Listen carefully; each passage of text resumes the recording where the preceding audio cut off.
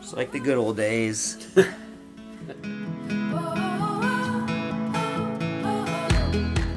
Hi Hillcrest, here we are uh, with this week's uh, announcements.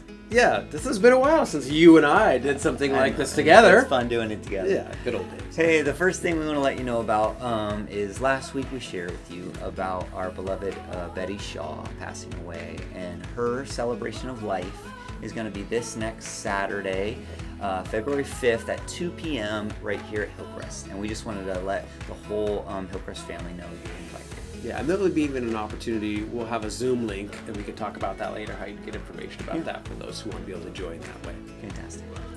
Um, second thing I want to talk about is marriage ministry at Hillcrest. In fact, it's been a little while since we've had a chance to talk about it, and I was just talking to Dr. Becca Johnson about it, who's the most excited and passionate. I want to take a chance to tell you about three of the big five pillars that hold up marriage ministry. Um, one of those is that we've added pre-marriage to pre-E. So pre-engagement's a long time historical piece at Hillcrest, but now we also have opportunities for pre-marriage. So check out small groups catalog for that um, and to anybody that wants to be involved in that. Um, another really neat thing we have here is called Marriage Mentors.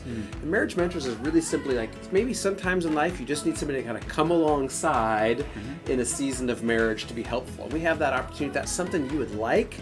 Um, on all of these, just check out our website. We'll make sure Marriage Ministry is right up front, and we can help get you connected, or even opportunities to train as a marriage mentor.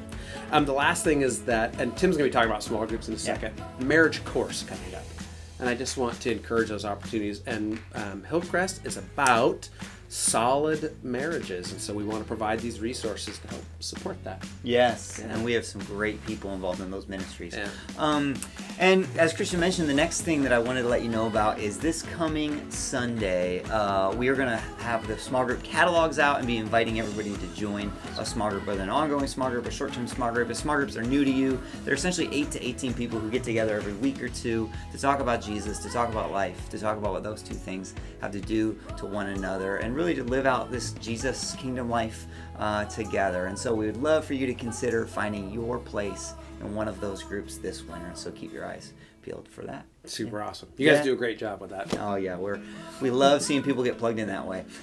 All right, Hillcrest, that's what we have for you today. Thanks for being with us. See you guys.